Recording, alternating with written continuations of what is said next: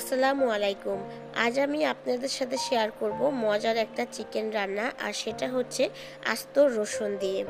আস্ত রসুন দিয়ে কীভাবে চিকেন রান্না করবেন সেটাই আজকে আপনাদের সাথে শেয়ার করব। আর আজকে আমি চিকেনটা নিব ফার্মের চিকেন যারা বলেন যে ফার্মের চিকেন দিয়ে টেস্ট ভালো হয় না বা খেতে ভালো লাগে না, তারা আজকে এই ভিডিওটি দেখবেন। অবশ্যই আপনাদের কাছেও ভালো লাগবে। তাহলে চলুন দেখে নেই আজকের রেসিপিটি প্রথমেই আমি এখানে হাফ কাপ পরিমাণে তেল দিয়ে দিলাম। এবারে আমি এক কাপ পরিমাণে পেঁয়াজ কুচি দিব। দিয়ে পেঁয়াজটাকে আমি হালকা সোনালি করে ভেজে নিব। তো পেঁয়াজটাকে একদম বেশিও ভাজা যাবে না আর একদম কম ভাজলেও হবে না। তো একটু নেড়ে চেড়ে মিশিয়ে এখন আমি এই পর্যায়ে এখানে আমি কিছুটা গরম মশলা অ্যাড করে দিব। এই যে এখানে আমি এলাচ এবং দারুচিনি নিয়েছি। এটা দিলে কিন্তু একটা ফ্লেভার বের হবে। আর দিয়ে দিলাম একটা তেজপাতা। দিয়ে ভালো করে তেলের সাথে একটু ভেজে নেব। তো ভেজে নেওয়া হয়ে গেছে। এখন আমি এখানে দিয়ে দিব দুই টেবিল চামচ পরিমাণে আদা এবং রসুন পেস্ট একসাথে আমি ব্লেন্ডার করে নিয়েছি সেইটা আমি দিয়ে দিলাম। দিয়ে এখন একটু তেলের সাথে আবার একটু ভেজে নিব। নেওয়ার পরে এখানে আমি এক এক করে মশলা অ্যাড করব। তো অল্প একটু ভেজে নেওয়া হয়ে গেছে। এখন আমি এক টেবিল চামচ পরিমাণে মরিচের গুঁড়া দিয়ে দিলাম। দিয়ে দিলাম এক টেবিল চামচ পরিমাণে হলুদের গুঁড়া। আর দিয়ে দিচ্ছি হাফ টেবিল চামচ পরিমাণে ধনিয়া গুঁড়া এবং হাফ টেবিল চামচ পরিমাণে জিরার গুঁড়া। স্বাদ মতন লবণ দিয়ে দিচ্ছি। আর এই পর্যায়ে চুলার আঁচটা মিডিয়াম টু লো রাখতে হবে, যাতে করে মশলাটা পুড়ে না যায়। তো এই পর্যায়ে আমি মশলাটা যাতে না পুড়ে যায়, সেজন্য সামান্য পরিমাণে পানি দিয়ে দিলাম। পানিটা দিয়ে আবারও ভালো করে কষিয়ে নিতে হবে, যাতে করে কাঁচা কোনো গন্ধ না আসে। তো কষানো হয়ে গেছে, এখন আবারও একটু পানি দিব। পানি দিয়ে আবারও আমি কষিয়ে নেব। তো মশলাটা যত ভালোভাবে কষাবেন, ততই ভালো হবে। তো মশলাটা ভালোভাবে একদম পারফেক্টভাবে কষিয়ে নিতে হবে। কষিয়ে নেওয়া হয়ে গেলে তখন এখানে আমি যে চিকেনটা আছে সেটা আমি অ্যাড করব। তো চিকেনটা আমি অ্যাড করেছি আর এর পর্যায়ে এখন ভালো করে মশলার সাথে চিকেনটা কষিয়ে নিব। তো চিকেনটা আপনারা চেষ্টা করবেন একটু সময় লাগিয়ে তারপরে কষানোর। কারণ যতটা আপনি কষাবেন ততই ভালো লাগবে।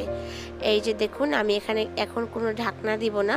এই চিকেন থেকে কিন্তু যথেষ্ট পরিমাণে পানি বের হয়েছে। কারণ এটা যেহেতু ফার্মের মুরগি, আর এটা দিয়ে কিন্তু অনেক পরিমাণে পানি বের হয়। আর এটা কিন্তু হতেও বেশি একটা সময় লাগে না। এর জন্য এই পর্যায়ে আমি ঢাকনা দিব না। ঢাকনাটা আমি কিছুক্ষণ পরে দিব। পানিটা শুকাবে, তারপরে দিব। তো চিকেনটা থেকে একদম যখন পানিটা শুকিয়ে যাবে, তখন আমি ঢাকনা দিয়ে দেবো। তো এই যে দেখুন, পানি কিন্তু শুকিয়ে গেছে আর এই পর্যায়ে আমি ঢাকনাটা দিয়ে দিচ্ছি। এখনও কিন্তু পুরোপুরি পানি শুকায়নি, অল্প আছে। তো এই পর্যায়ে ঢাকনা দিলেই হয়ে যাবে। আর ঢাকনা দিয়ে প্রায় দশ মিনিটের মতো রাখব। তো দশ মিনিট পরে চলে আসলাম আর এখন কিন্তু চিকেনের গায়ে থেকে বেশ কিছুটা তেল উঠে এসেছে, তার মানে চিকেনটা ভালোভাবে কষানো হয়ে গেছে। এখন আবারও ভালো করে নেড়ে চেড়ে মিশিয়ে নিচ্ছি। মেশানো হয়ে গেলে এখানে আমি দিয়ে দিব রসুন। আর এখানে আমি এই যে দেখুন মিডিয়াম সাইজের দুইটা রসুন নিয়েছি। আপনারা যদি ছোট রসুন দেন, সেক্ষেত্রে তিনটা বা চারটা দিতে পারেন। তো আমি এখানে দুইটাই রসুন দিব আর দিয়ে এখন আমি এটাকে ভালো করে আবারও কষিয়ে নিচ্ছি। আর রসুনটা কিন্তু হতে বেশি একটা সময় লাগে না। আপনারা আবার ভাববেন না যে আস্ত রসুন দিয়ে দিলাম, এটা কি সেদ্ধ হবে? রসুনটা কিন্তু সেদ্ধ হতে বেশি একটা সময় লাগে না।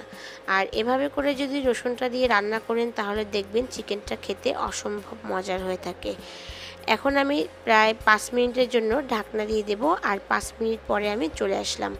পাঁচ মিনিট পরে সম্পূর্ণ পানি শুকিয়ে একদম তেলটা উপরে এখন চলে এসেছে। এখানে কিন্তু এক ফোঁটা পানিও অবশিষ্ট নাই। সম্পূর্ণ পানিটা একবারে শুকিয়ে নিতে হবে চিকেন থেকে। তো যখন দেখবেন যে কোনো পানি নাই, একবারে শুধু তেলটা আছে, তখন বুঝতে হবে যে না, এটা কষানো হয়ে গেছে। এখন এখানে আমি অ্যাড করব প্রায় এক কাপের একটু বেশি গরম পানি। অবশ্যই চেষ্টা করবেন গরম পানি দেওয়ার জন্য। তো আবারও ভালো করে একটু মিশিয়ে নিচ্ছি মশলার সাথে। আর এটা যতক্ষণ পর্যন্ত বলক না আসে, ততক্ষণ পর্যন্ত অপেক্ষা করব।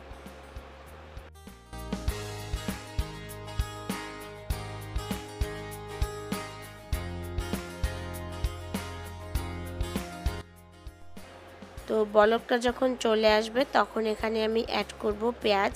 আর পেঁয়াজটাকে আমি একটু বড় করে কেটে নিয়েছি, নিয়ে এখানে আমি এখন দিয়ে দিচ্ছি। এই পেঁয়াজটা এই পর্যায়ে দিলে কিন্তু চিকেনটা অনেক খেতে ভালো লাগবে। আপনারা এভাবে একবার হলেও ট্রাই করে দেখতে পারেন। তো এরকম মিশিয়ে নেওয়া হয়ে গেলে এটাকে আমি ঢাকনা দিয়ে রেখে দিব। চিকেনটা যতক্ষণ পর্যন্ত না হয়, ততক্ষণ পর্যন্ত অপেক্ষা করব। তো ঢাকনাটা দিয়ে দিলাম। দিয়ে এখন অপেক্ষা করব। প্রায় বিশ মিনিটের মতন অপেক্ষা করে তারপরে আসলাম। আর এরই মাঝে কিন্তু চিকেনটা হয়ে গেছে। আর রসুনগুলোও কিন্তু সেদ্ধ হয়ে গেছে একদম পারফেক্টভাবে। আপনারা চাইলে পানিটা আরও শুকিয়ে নিতে পারেন, তবে আমি এতটুকুই ঝোল রাখব। কারণ এটা যখন ঠান্ডা হয়ে যাবে তখন কিন্তু আরও গাঢ় হয়ে যাবে। তো এই পর্যায়ে আমি দিয়ে দেবো জিরের গুঁড়া আর ভাজা জিরের গুঁড়া। এটা দিলে কিন্তু ফ্লেভারটা অনেক সুন্দর আসে। আর আমি সবার লাস্টেই দিয়ে দেবো কারণ এতে করে ফ্লেভারটা খুব ভালো আসে। আপনারা চাইলে আগে থেকেও দিয়ে নিতে পারেন, তবে এই পর্যায়ে দিলেই কিন্তু ফ্লেভারটা বেশি ভালো হয়। তো এখন আমি আপনাদেরকে সার্ভ করে দেখাবো যে কীরকম হয়েছে। তো এই যে দেখুন, রসুনটা কিন্তু খুব ভালোভাবে একদম কুক হয়ে গেছে। এই ফার্মের মুরগির রেসিপিটা কিন্তু খেতে অসম্ভব মজার হয়েছে আর রসুন দিলেই কিন্তু এর আসল যে টেস্টটা সেটাই পাবেন। আশা করি রেসিপিটি আপনাদের কাছেও ভালো লেগেছে। আপনারা বাসায় অবশ্যই ট্রাই করবেন এবং আপনাদের ফ্যামিলি এবং ফ্রেন্ডসদের সাথে শেয়ার করবেন। তো আমার চ্যানেলটা প্লিজ সবাই সাবস্ক্রাইব করে দিবেন এবং লাইক কমেন্ট করে দিবেন। আল্লাহ হাফেজ।